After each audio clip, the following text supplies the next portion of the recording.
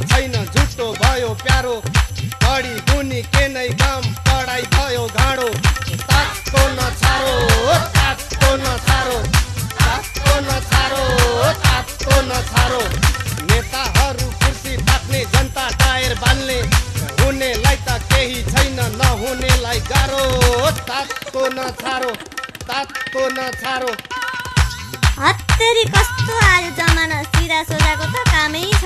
तातो न छाडो। कहिले बन्द कहिले हडताल कहिले जुलुस नारा। देशको धरती कलादेखि छक्क पर्छन् सारा।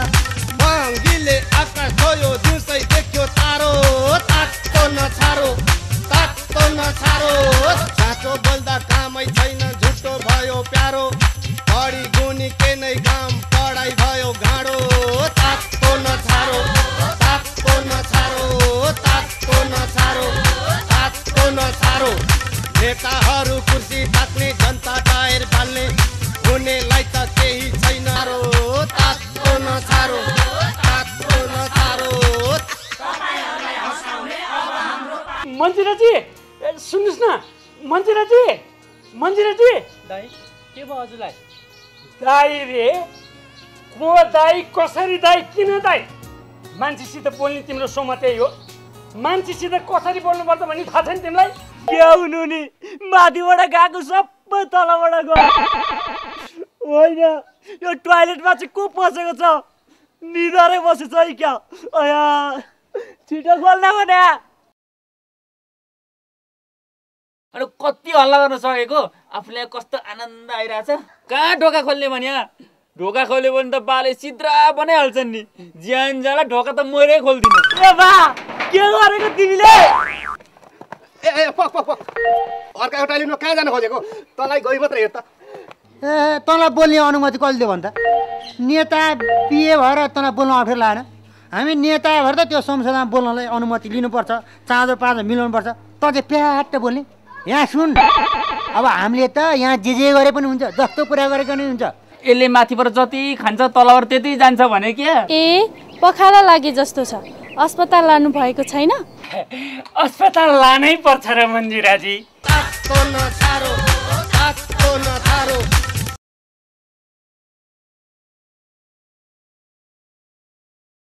डोक्टर साहब यसपालि त म घर जान्छु जान्छु। तपाईँले बिदा दिनु भएन भने पनि जागिरै छोडेर भए पनि जान्छु। होइन तँलाई के बित्दो छ र त्यस्तो? म त तिन तिन वर्ष भइसक्यो घर गएको छुइनँ। म ठ्याक्कै घर नगएको तिन वर्ष भइसक्यो डक्टर साहब। यसपालि त झन् बुढीले छोरो पाएको छु भनेर चिठी लेखेकी छे। यसपालि त म छोरा निवारण गर्नुभयो भने जानुपर्छ डक्टर साहब। तेरो श्रीमतीले छोरो पाइरे अचम्मै भएछ। ल डक्टर साहब मेरो श्रीमतीले छोरो नपाएर मैले पाउँछु त। मैले त्यसो भन्न खोजे होइन। तँ यहाँ छस् तेरो बुढी उहाँ छे। आफै सोच त त्यसले कसरी छोरो पायो होला? हो त म घर नगए त तिन वर्ष भइसक्यो त। मेरो बुढीले कसरी छोरो पाइ त? सुत्केरी भनेपछि घर आउँछ भनेर पत्र लेख्या होला। अघि डक्टर साहब होइन बिरामी मर्यो। हाम्रो गल्ती होइन हाम्रो गल्ती होइन। बिरामी अहिलेसम्म जिउँदै छ। तर के गर्नु जति खायो त्यति गयो। खाएपछि जान्छ त। यसरी चाहिँ डक्टरको ज्यान जाने गरी ठोकाउने। ठोकाएको होइन डाक्टर साहब। ब्रेक नभएर धोका पो ब्रेक फेल हो क्या त। नमस्ते डक्टर साहब। होइन हात ठनक्कै भाँचेर आउनुभयो के हो? हात भाँचेको होइन डाक्टर साहब। थुनेको नि थुनेको। अहिले यही जान्छ भनेर थुनेको। होइन ठुलै चोट लाग्यो कि क्या हो? थुन्नुहोस् थुन्नुहोस् एक थोपा रगत नबग्ने गरी थुन्नुहोस् होइन तपाईँले के हेर्नु भएको उचालेर जानुहोस् न। ए झुसेदारी अब यसको हातमा समातेर उचालौँ भने यसले यहीँ छोडिदिन्छ र बसिसक्नु हुँदैन। अब कसरी चाहिँ यसलाई उचालेर यहाँ राख्ने त? हेर बा तिमी एउटा खुट्टा उचाल म अर्को खुट्टा उचाल्छु त्यसपछि यसको पुच्छर माथि पर्छ त्यसपछि त झार्दै झार्दैन नि। गुड भेरी गुड आइडिया त्यसो गर्नु लाग्यो होइन के गरेको? यी जान्छ भनेको अहिले। के गर्नुभएको तपाईँहरूले? अलिक सजिलो तरिकाले बसाउनुहोस् त। अहिले यही झार्न सक्छ क्या डाक्टर साहब? बरु ग्यास तपाईँ ल्याउनुहोस् न। यसको हालिदिउँ ठ्यास ठ्यास पुच्छरमा। ए त डाक्टर कि उहाँ डाक्टर? किन बढी जान्ने भएको यहाँभित्र भएको ग्यास त हुने आँटिसक्यो फ्ल्यास। होइन तपाईँलाई भएको चाहिँ के? म भन्छु डाक्टर साहब म भन्छु। यसले यहाँबाट यति खान्छ त्यहाँबाट फेरि त्यति नै निकाल्छ। चोक्टै चोक्टा खान्छ झोलै झोल निकाल्छ। म त हैरान भइसकेँ डाक्टर साहब। डाक्टर साहब। आउन आँट्यो। लाउनु रोकिदिनु पर्यो भने। पक पक अहिले यहाँ झार लाग्छ नि। म पूजा लगाइदिन्छु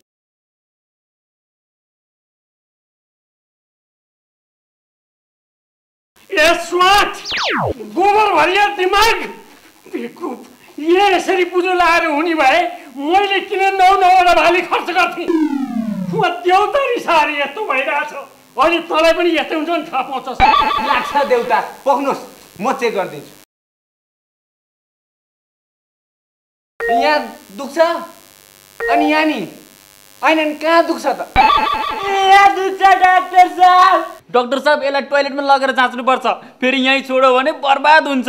फेरि यसले बुझो लाउनु दिएन। चुप व्रत जाने होइन।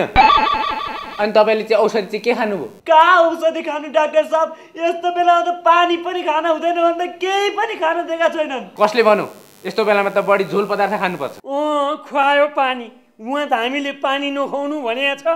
नौ नौवटा भाले त खेरेको। पानी खुवायो भने भरे बेलुकालाई ठिक पारेर त्यो कालो बोको पनि खेर जान्छ। हेर्नुहोस् झाडा पखाला भनेको फोहोर पानी बासी सडे गलेको खानाले पो राख्छ त। कहाँ देउता इसारा लाग्छ त? यस्तो कुरा के छ हाम्रो बालाई? खालि तरुनीको पछि पछि मात्र हिँड्छन् बत्त कुरो बोल्छस् त? मलाई थाहा थियो क्या। यहाँ आएपछि यस्तै कुरो हुन्छ भनेर मलाई पहिल्यै थाहा थियो। त्यो अस्ति श्वासकर्ताले पनि यस्तै कुरो भन्छ मलाई यहाँ आउनै मन थिएन नि। मन्जी दाजुले भनेर मात्रै म यहाँ। स्वाटकर्ता कस्तो स्वाटकर्ता स्वास्थ्य कार्यकर्ता भन्नुहोस् न। तिनको नाम जेसुकै होस् न मलाई के मतलब? बरु अलिक चाँडो गरिदिनु त। उहाँ कालो बोको भोगिदिनलाई ठिक्क पारेको छ। अनि फेरि औषधि सौषधि दिने होइन नि। म पैसा सैसा दिन सक्दिनँ भनिदिएको छु। कालो बोको किन्नै पर्दैन। मैले भने जस्तो जीवनजल खुवाउनुहोस् निको भइहाल्छ। खाएको यो त उमालेको पानीमा घोलेर खाने पो त। जति तलबाट जान्छ त्यति खाने। ओ डक्टर साहब तलबाट जति जान्छ सबै लागि के हो मैले तलबाट जति जान्छ त्यति सोरेर खाऊ भने त होइन नि। तलबाट जति जान्छ त्यति नै उमालेको पानीमा जीवनजल हालेर खानुपर्छ। ए डाक्टर साहब यो जीवनजल पानीमा घोलेर खाए कहिले लाग्छ लाग्छ। उस्कीमा घोलेर खानु मिल्दैन। त्यसरी खान पायो भने त तुरुन्त लाग्छ। त्यही त विस्की पनि त पानी त हो नि डाक्टर साहब। बेकुप बाउको छोरो भएर हुस्की खाने भने गर्छ म यिनीहरू धर भर्ने गरी दिउँ दिउँ म तँलाई दिउँ दिउँ। होइन यी बाले पनि सिद्रै बनाउने भए अहिले म पनि बिरामी भइदिन्छु अनि के अरे के अरे मेरो लागि बिरामी भइदिने त। ल ल ल ल ल झगडा नगर्नुहोस्। विस्की त छुनै हुन्न। बरु साबुन पानीले हात धोएर मात्रै खाना खानुपर्छ। काँचै खाना हुने सागसब्जीहरू पखालेर मात्र खानुपर्छ। ए बा डक्टर साहबको कुरा त मलाई ठिक ठिकै लाग्यो है। मलाई पनि ठिक लाग्यो। डक्टर साहब अ, यसलाई छ नि डक्टर साहब त्यो उमालेर चिसो पारेको पानीमा जीवनजल घोलेर यसलाई घट घट खानिदियो भने ठिक हुन्छ त डक्टर साहब। ठिक त भइहाल्छ नि तर अरू झोल खाने कुरा पनि टन्न खुवाउनुपर्छ।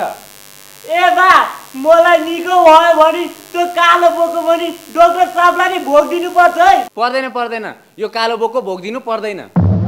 यो त तपाईँको लापरवाहीको कारणले भएको हो। जीवनजल खानुहोस् ठिक हुन्छ। जीवन जसले निको भयो भने त्यो राक्षसलाई चार गेडा चामल पनि दिनु हुँदैन है बा। चिप्ला गोरुहरू यो झाडाबान्द कसरी लागेको रहेछ भन्ने कुरो अब त थाहा पायो होला नि तिमीहरूले। दिउँसभरि गाउँ चारिया छ बिहान पकाएको भात बेलुका खाछ बेलुका पकाएको भात बिहान खाछ अनि झाडाबान्द लाग्दैन गोरुहरू हिँड्छौँ गर्छ अहिले हामी जान्छौँ है? अब मोटाएला भनेर टन्न खायो यस्तो हुन्छ भनेर के थाहा त नि?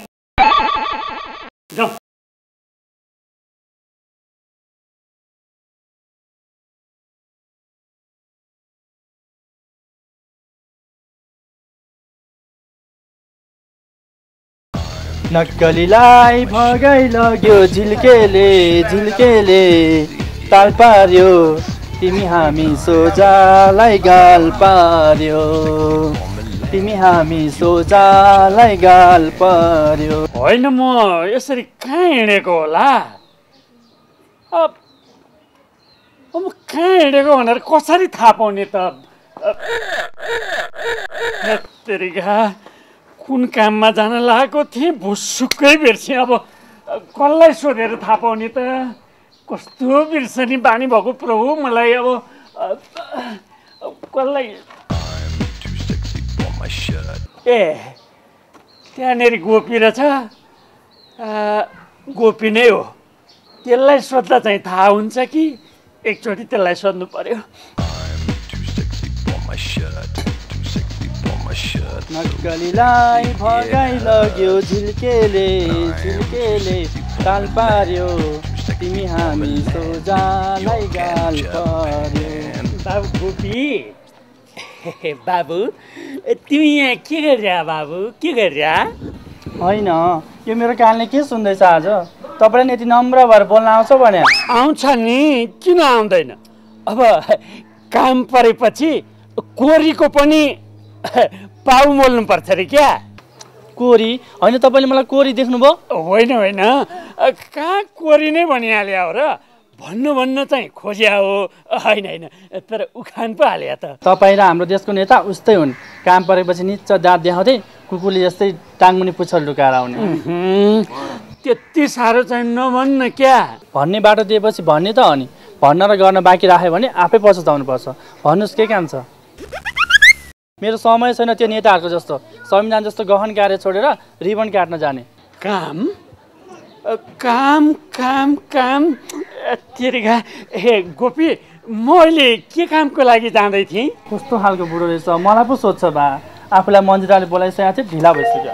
आइयो आइयो कान्छा आइयो आइयो कान्छा आइयो आयो कान्छा आयो। याद आयो कान्छा याद आयो। याद आयो कान्छा याद आयो। कसको याद आयो? मन्जिराजीको म त मन्जिराजीलाई पो भेट्न जानु लाग्यो त। यो बिर्सनी बानीले पनि मलाई त बर्बादै पार्न लाग्यो। न त तँ जतासित के काम भने मेरो? ए त।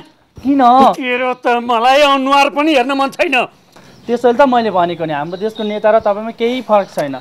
काम पर्दा म्याउ म्याउ भन्दा आउने काम नपर्दा जा भन्ने। मेरो पनि पर्ला नि आवश्यकता कुनै म नेता हो र भने नेतालाई पो चुनाव आएपछि जनता सामु जानुपर्छ र भन्नुपर्छ। ए हजुर नमस्कार है नमस्कार है हजुर नमस्कार। म हजुरहरूको सेवक। मलाई मात्र एक भोट दिनुहोस् त्यसपछि म यो ठाउँको काया पलट गरिदिन्छु भनेर भन्दैन। म नेता हो यो अशक्ति बुढो त मरे पनि हुन्छ। जय भोले शंभो आज तो एक मुर्गा भी नहीं आया। खाने के लिए एक सुखा भी नहीं मिलेगा क्या?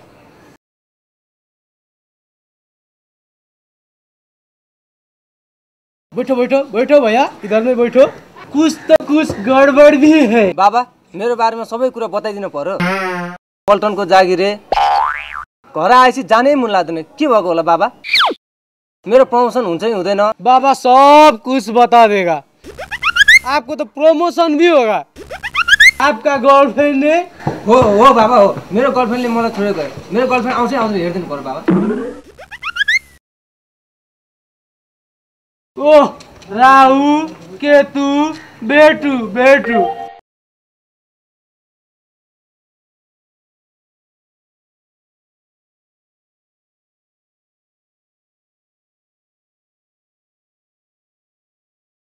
हाँ आपका गर्लफ्रेंड रास्ते में चलते चलते ही मिलेगी।